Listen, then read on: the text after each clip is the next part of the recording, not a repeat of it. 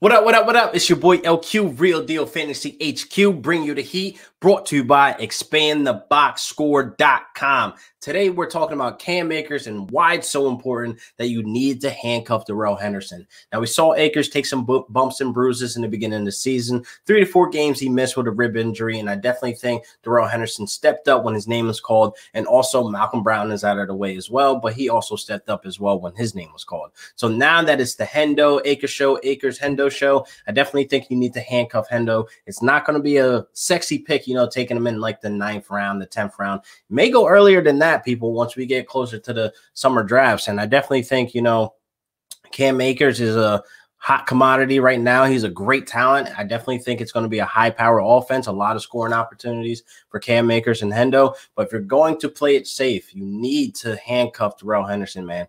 You need to. That's definitely one of the things I can't stress enough because you never know if Cam Akers takes another fall.